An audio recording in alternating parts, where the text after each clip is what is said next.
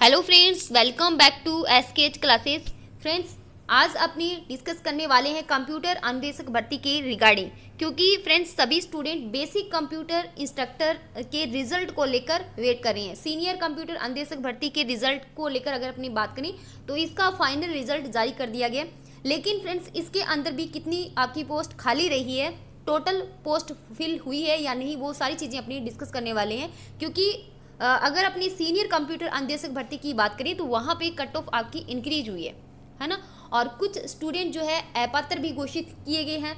उसकी वजह से टोटल जो आपकी सीट है, वो कितनी थी और कितनी सीट फिल की गई है, वो सारी चीज़ें अपनी डिस्कस करने वाले हैं।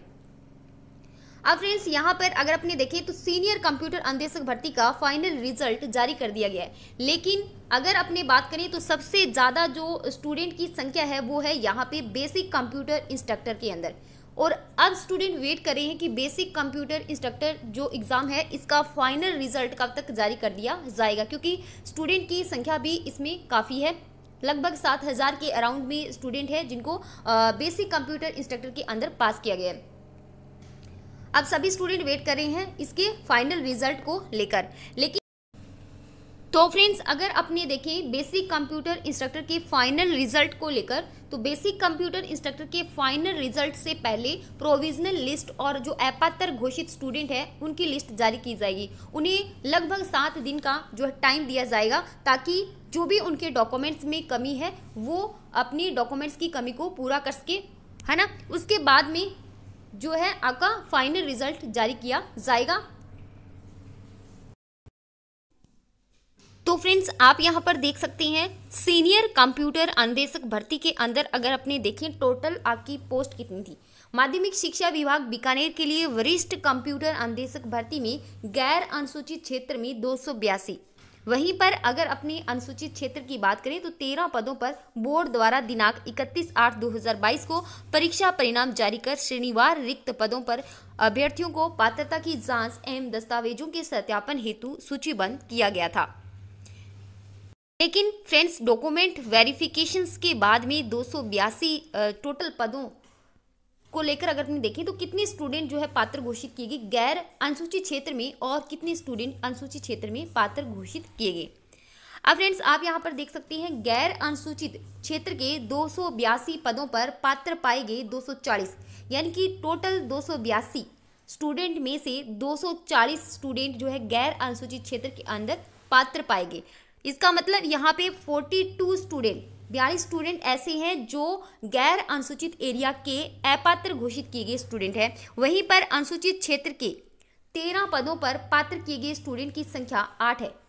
और यहाँ पे टोटल अगर अपने देखें तो दो सौ बयासी पदों पर और यहाँ पर अनुसूचित क्षेत्र के तेरह पदों में अगर अपने देखें तो यहाँ पे टोटल टोटल 248 अभ्यर्थियों को श्रेणीवार वीरता क्रम से बोर्ड द्वारा अंतिम रूप से चयन कर अभिशंसा की जाती है, जिनके रोल नंबर और कट ऑफ़ मार्क्स जो है इन्होंने बताए हैं।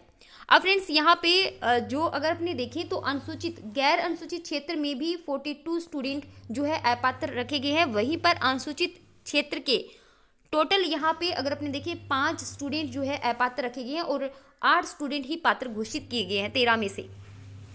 उसी प्रकार से अगर अपनी जो है यहाँ पे बेसिक कंप्यूटर इंस्ट्रक्टर की बात करें तो फ्रेंड्स अब सभी स्टूडेंट बेसिक कंप्यूटर इंस्ट्रक्टर के रिज़ल्ट को लेकर वेट कर रहे हैं तो इसके अंदर आपकी कट ऑफ़ तो नहीं बढ़ने वाली, लेकिन यहाँ पर अगर अपने देखिए ऐप पात्र घोषित किए जाने वाले स्टूडेंट की संख्या जो है वो डिसाइड करेगी टोटल सीट आपकी कितनी फिल की जाएगी। वहीं पर फ्रेंड्स आप यहाँ पर देख सकते हैं, विनोद मित्तल जी जो है, इन्होंने ट्वीट करके बताया है कि वरिष्ठ कंप्यूटर अनुदेशक भर्ती का परिणाम जारी हो गया। अब बेसिक कंप्यूटर अनुदेशक भर्ती के परिणाम का अभ्यर्थियों को इंतज़ार। पर फ्रेंड्स, आप दैनिक भास्कर की न्यूज़ देख सकते हैं। वरिष्ठ कंप्यूटर अनुदेशक भर्ती का परिणाम जारी। 248 जो है, स्टूडेंट का ही चयन हुआ है। राजस्थान कर्मचारी चयन बोर्ड ने मंगलवार को वरिष्ठ कंप्यूटर अनुदेशक भर्ती का अंतिम परिणाम जारी कर दिया। इस भर्ती में 248 अभ्यर्थियों का अंतिम रूप से चयन हुआ है और शिक्षा विभाग को अब इन चयनित अभ्यर्थियों की नियुक्ति की अनुशंसा भेजी जाएगी। अंतिम परिणाम में चयनित अभ्यर्थियों में 240 जो स्टूडेंट है, वो नॉन टीएसपी के और आठ जो स्टूडेंट है, वो है टीएसपी के हैं। यह भर्ती दो सौ टोटल दो सौ पदों पे ये वैकेंसी आपकी थी और जिसमें से अगर अपने देखें तो 248 स्टूडेंट जिनको यहाँ पे सिलेक्ट किया गया आयोजित की गई थी और इसमें से नॉन टीएसपी के दो सौ बयासी पद थे और टीएसपी के 13 पद है। अंतिम परिणाम के बाद नॉन टीएसपी में 42 पद और टीएसपी में पाँच पद खाली रह गए। अब अभ्यर्थियों को बेसिक कंप्यूटर अंदेशक भर्ती के परिणाम का इंतज़ार है। चयन बोर्ड जनवरी में यह परिणाम जारी कर सकता है। तो यहाँ पे फ्रेंड्स आप देख सकते हैं, बेसिक कंप्यूटर इंस्ट्रक्टर का जो परिणाम है आपका, वो यहाँ पे जनवरी मंथ के अंदर जारी हो सकता है, इसकी हंड्रेड परसेंट पॉसिबिलिटी है। क्योंकि अब आपका सीनियर कंप्यूटर इंस्ट्रक्टर का रिज़ल्ट जारी कर दिया गया है तो अब स्टूडेंट जो है वो बेसिक कंप्यूटर इंस्ट्रक्टर का रिज़ल्ट ही चाहते हैं। तो अब जो है आपको ज़्यादा टाइम नहीं लगेगा कि जो बेसिक कंप्यूटर इंस्ट्रक्टर है, उसका रिज़ल्ट डिले हो। पॉसिबिलिटी है, इसका जो रिज़ल्ट है, वो आपका जनवरी मंथ के अंदर डिक्लेयर कर दिया जाएगा। लेकिन फ्रेंड्स सबसे पहले अगर अपनी बात करें तो आपकी प्रोविजनल लिस्ट और जो अपात्र घोषित स्टूडेंट है, उनकी लिस्ट जारी की जाएगी और उन्हें सात दिन का टाइम दिया जाएगा। तो फ्रेंड्स अगर आपको ये वीडियो पसंद आए तो लाइक करना और अपने दोस्तों के साथ में ज़्यादा से ज़्यादा शेयर करना। साथ में ही जितने भी स्टूडेंट जो बेसिक कंप्यूटर इंस्ट्रक्टर के रिज़ल्ट को लेकर वेट कर रहे हैं, वो सभी स्टूडेंट इस चैनल से जुड़े रहना। और फ्रेंड्स बेसिक कंप्यूटर इंस्ट्रक्टर भर्ती की रिगार्डिंग कोई भी इन्फॉर्मेशन आती है तो वो आपको इस चैनल के थ्रू मिलती रहेगी। आप इस चैनल से जुड़े रहना। साथ में ही फ्रेंड्स मैं आपको बता दूँ टेलीग्राम चैनल को आप ज़रूर ज्वाइन कर लेना। टेलीग्राम चैनल का जो लिंक है, वो आपको इसी वीडियो के डिस्क्रिप्शन के अंदर प्रोवाइड करवा दिया जाएगा। तो फ्रेंड्स, आप टेलीग्राम चैनल को ज़रूर ज्वाइन कर लेना। टेलीग्राम चैनल पर आपको बेसिक कंप्यूटर इंस्ट्रक्टर भर्ती की रिगार्डिंग कोई भी इन्फॉर्मेशन आती है तो वो आपको सबसे पहले अपडेट टेलीग्राम चैनल के थ्रू भी प्रोवाइड करवा दी जाएगी।